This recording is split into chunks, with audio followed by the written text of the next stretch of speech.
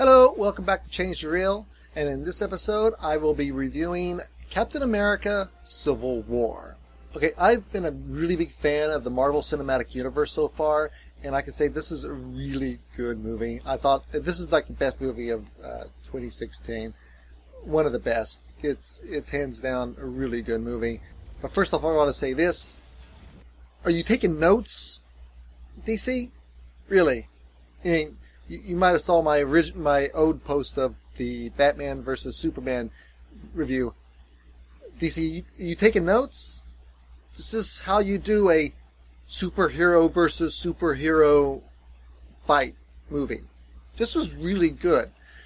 I don't know what the Batman versus Superman was, but this is how you do it. With that said, let's get back. Let's get to some of the things I didn't like about the movie. One of the first things that really stand out to me is that this doesn't really feel that much like a Captain America movie. This is basically an Avengers movie.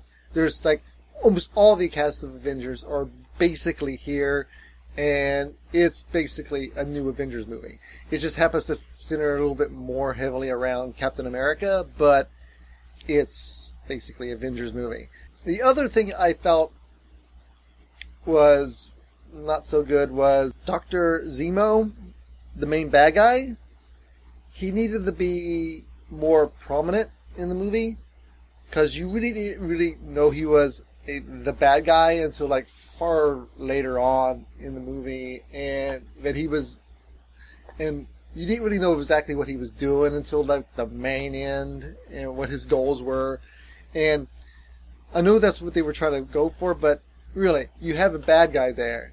He should at least be somewhat prominent in throughout the majority of your movie. I really like the character, and I really, I really wish they would have focused, had some more scenes where we actually focus in on Zemo, and actually his character and what he's doing, because we don't really figure out exactly what he's doing until the end. The best part about the movie, one of the best parts about the movie, is this scene right here. The airport scene. The airport scene is by far one of the best superhero fight sequences I think I've ever seen in movies. It's that thing that the sequence is awesome.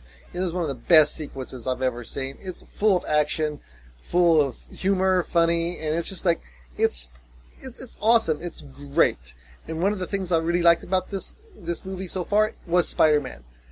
I really liked Spider-Man. I haven't liked Spider-Man since Sam Raimi's movies.